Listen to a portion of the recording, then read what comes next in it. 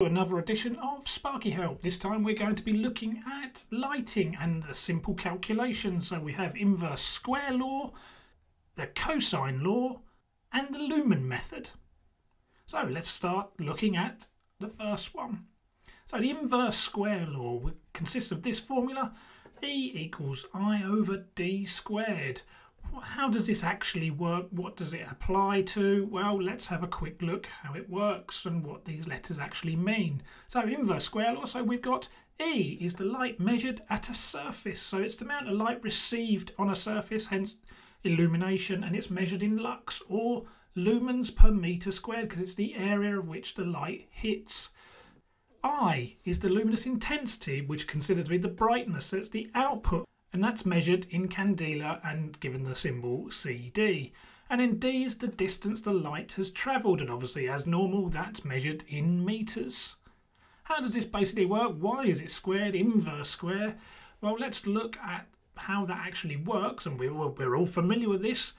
That if you shine a light on something, if it's close up, it will be relatively bright. So here we have one metre away, it has one square. If you double the length in this case it goes down by a quarter. So that's basically what happens with lighting in general. Every time you double the length the light received at the surface has dropped by a quarter hence the inverse square. And if we go up again it will drop but inversely proportional which basically means the further away you get the duller it will be when received at the surface. And if we go from 2 to 4 meters it has dropped by a quarter from 2 to 4. So like I say, every time you double the distance, the light received drops by a quarter. As always with these things, let's look at an example. So here we have a question, a luminaire above a surface, 2.4 metres. Its in luminous intensity is 1000 candelas. Calculate the light level directly below. So the easiest ones you can do. So there's our light, there's our distance. We need to calculate it. Let's put the figures in then so there's our formula. We put our figures in. That's 1000 divided by 2.4 metres squared. And once you do that, you'll get an answer of 173.6 lux or lumens per metre squared. It is another unit you could put next to that. So that's the light received directly below. Relatively straightforward, yet another formula to remember. The other one to use, uh, the cosine law of illuminance, basically consists of, well, we, obviously lighting doesn't just light directly below, it also lights in all other directions wherever the light happens to be shining. So you have the angle. So it starts off as the same formula, E equals I over D squared, and then you multiply by the cosine of the angle. The thing to note on this one, it's the distance the light has travelled and you can see on my drawing there that D is the diagonal. It's the hypotenuse of the triangle and the cosine is based on the angle uh, from the light itself. And let's look at what they all mean and how it works. So as, as before light measured at a surface the same as before lumens or lux. Luminous intensity is the brightness again. D is the distance but this time as we've said is the diagonal and then the cosine is the angle from the light itself and that's what we need to put in. So let's look at a calculation. A luminaire is installed uh, and we'll calculate it on the diagonal at this point. So there's our light, it's 1500 candelas, it's 2.4 metres up but it's 1.4 metres away so as always with these sort of questions, if you get them, there's often something you need to do in order to do the calculation. So this time we don't know D, or we don't know the angle on this one as well. So we start with our formula, and we can put in what we do know, and that's the 1500. We still don't know what D squared is, and we don't know the cosine of the angle. So good old trigonometry now. Pythagoras kicks in. So let's start with Pythagoras, and to find that distance, it's those two sides squared and then added together and then square root. So 2.4 squared plus 1.8 squared and then square root your answer. That gives us a distance of 3 metres. So that's D sorted. What we then can do is put that into our calculation. We now need to work out the cosine. So the cosine of the angle is adjacent over hypotenuse.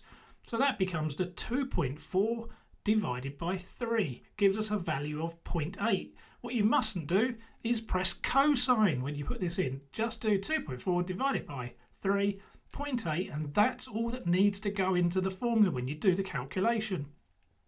because obviously it's come at an angle, it's got a longer distance. The lighting level now we have 133.3 lux or lumens per meter squared. Let's apply it to a slightly different, more real world, I suppose, but even that isn't particularly complex. This one, this consists of just two lights. So what we want to do is we work out the light below each of those two lights. So it will be lit from directly above, but it'll also be lit by from the diagonal from each lamp in the opposite corner. So we can do, first of all, we can do the first one, that's E equals I over D squared, that's 1500 divided by 2.4, and that gives us a value of 260.4 lux directly below each of those lights. So at point A and point B, it is at least 260. However, it's also lit from the diagonal. This time I've given you the diagonal, so I've given you the three. So we can put that in, but what we need is the angle. Well, this is from the same question looked up a minute ago. So that becomes 1500 divided by 3 squared times the 0.8. So diagonally you get a lighting level of 133.3 lux. So you now have a total of those two. So what we can therefore do is add those two values together and that will give us the lighting level at A and B. So therefore what we end up with is 393.7 lux at point A and point B.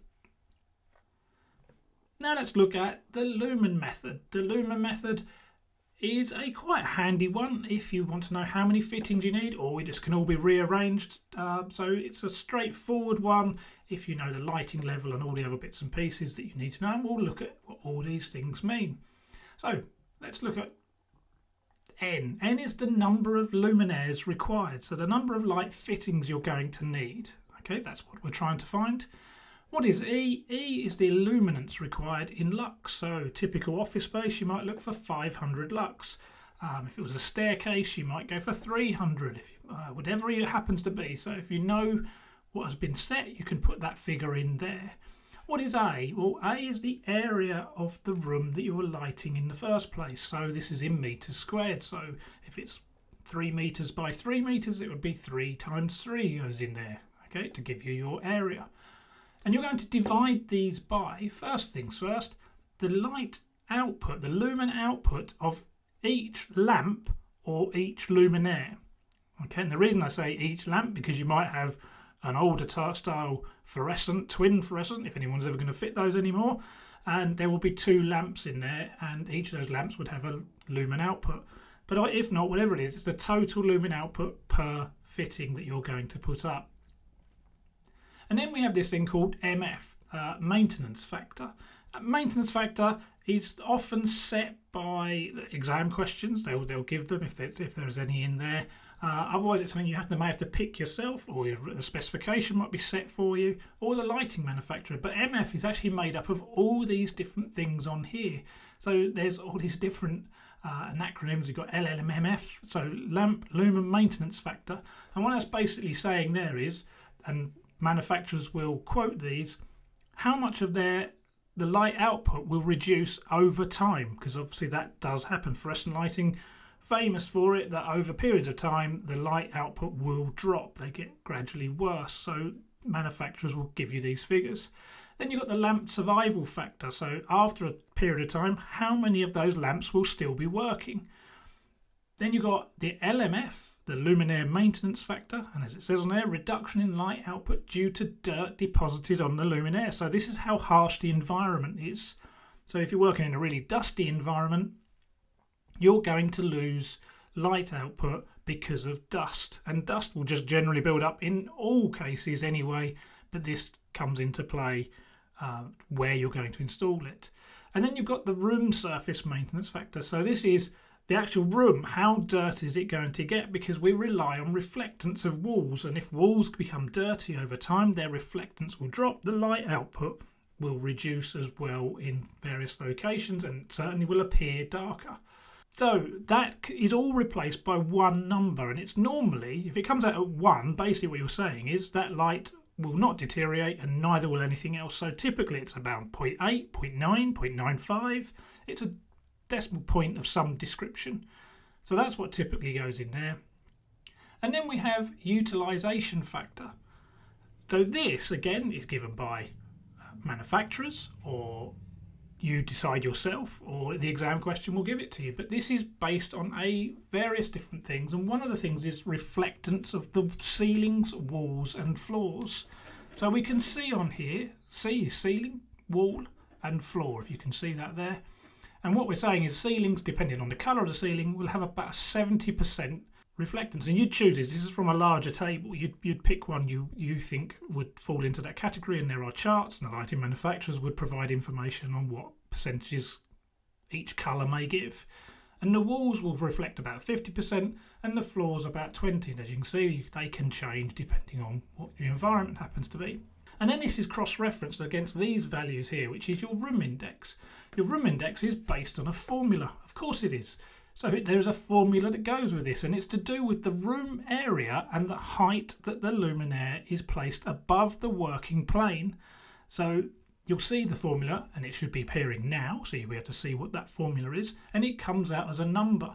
So if you come out as a number of, say, let's say 2.5, and against, and you check it against a ceiling and walls and floor of 70 50 and 20 then you get this number of 85 and what 85 it's not it doesn't go in at 85 it goes in at 0.85 and that's your uf so uf is the utilization factor and it's how good the lights are how high they are how big the room is and how what the walls are reflecting and all those other bits and pieces.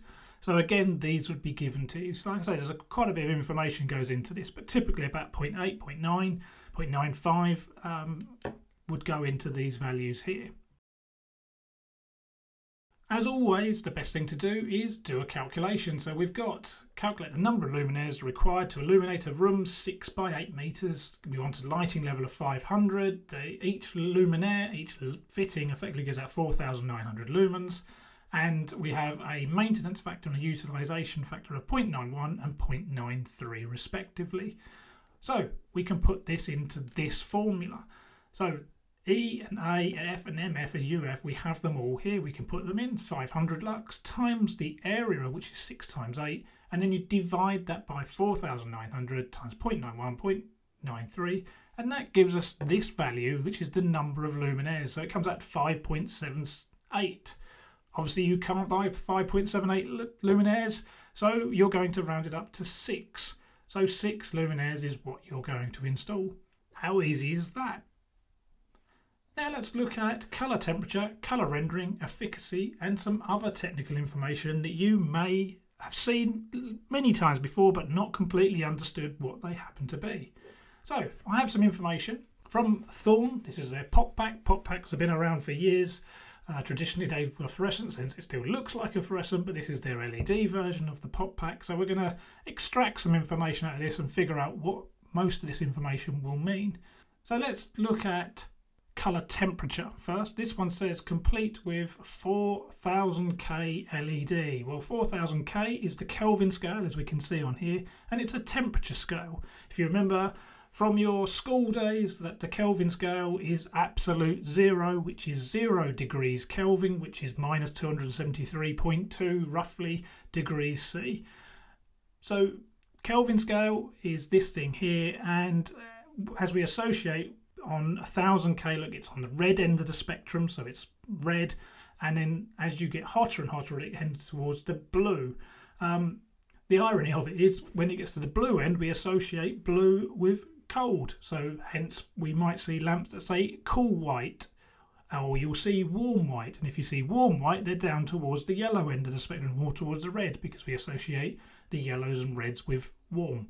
So this one, 4000K, is pitched roughly in the middle, so it's on the verge going from one to another. So it's uh, the colour of the light, effectively, that you're going to get out of it, how directly white it happens to be.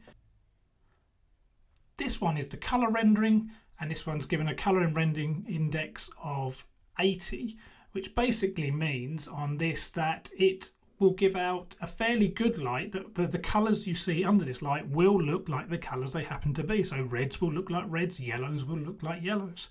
Obviously if that was 100 it would be bang on pretty much what daylight would be under the sun under normal conditions. But you can see from these two pictures that you can see on here, these are the same colour balls but under different colour lighting and they look completely different. If you've ever come across sodium lights, which used to be old street lights that were the yellow looking coloured ones, you try and look at a red car under a sodium lamp, it doesn't look red. So if you're trying to light a spraying workshop, you wouldn't put sodiums in. You'd want to put some lighting in that has very good colour rendering, that the colours look the colours they're supposed to be. So that's what the colour rendering is. So 80 is pretty good, 100 would be spot on. Let's look at this one then. Rated median useful life. So this is on average how how long will it last? Uh, the light output of it. And this one, this manufacturer has said it's L80 50,000 H at 25 degrees C. What that basically means is that after 50,000 hours at 25 degrees C, 80% of the light will still be given out. And I've done a quick calculation so you can see what we're talking about here. It says based on an eight hour day, if we do that calculation, so eight hour day into 50,000 hours for 365 days a year, that will basically last uh, for 17.1 years, which is a pretty long time for lighting to last. So it, you know, when they give these figures out in LEDs, they are going, they should, on theory, in theory, last a long, long time probably outlive the building itself. So if you were putting these in offices, for instance, the office might get refurbished again in 10 years' time, but there's still another seven years worth of light still left in those, those fittings, but you'll probably replace them because they probably look old by now. Let's look at this one here, Luminaire input power. So it says it's a 36 watt lamp, and this one does have a power factor. People often think, well, they're LEDs, they don't have a power factor. Well, they often do. It's just luckily the, the wattage of LED fittings is so small compared to traditional lighting, but it still has a power factor in it. So how do you work that one out? It's power divided by volts times the cosine, which is the power factor. So that becomes 36 divided by 230 times 0.95. So each of these fittings will draw 0.15 of an amp, which is quite important to know because obviously if you're doing loading, we need to make sure we've got enough power for it. I know you can fit a lot of these on a, a traditional lighting circuit, but this calculation still exists and we still need to know it. Let's look at this one then. Very important one to be aware of, um, and that is the efficacy of, like efficacy, efficacy, however you want to pronounce it, of the actual lighting itself, and that's the lumens divided by the watts. So you can see the light output, uh, luminous flux is 4,900, and we divide that by the wattage, and that gives us a efficacy of 136.1 lumens per watt. Okay, so it's not a percentage, it's the amount of lumens output for every watt that you put in. So it's pretty good, 136. If we go back to an incandescent lamp, you'd have been lucky to push about 15 lumens per watt. So we know we've moved on a long way uh, before we, you know, to get where we are now with LEDs. Uh, as I say, incandescent lamps, that's the filament wires, would give out more heat than they would do light in comparison. But nowadays, it's all about the light output and they don't get anywhere near as hot as they used to. So the lumens per watt has increased enormously. So they're very efficient. If you want to look, if we can want to use that word, let's attempt to use it. If I look at this one now, this one is the an equivalent uh, of this light, this information here. This one come from a another leading store in the UK uh, that sells fittings and lots of other things and screws for instance that is one of the things they sell but this one their, their particular version of it we can see on there uh, the lumen output is 4050 uh, the wattage for this one is 45 watts so and if you look at the efficacy of this one it's 90 lumens per watt uh, so what does that basically mean? Well, it means it's you need more of them. Is the upshot of it to light the same room, if we go back to that previous question on the lumen method, you would need more of these ones from this shop than you would do the Thorn one. I'm not advertising Thorn, it just happens to be a Thorn one I happen to look at. So always have a check, look at the efficacy of lighting, but it's lumens per watt. The higher the number, the better. So I hope this has been useful uh, for you to look at and revise for anyone doing level 3 exams. Thank you very much. Please like and subscribe.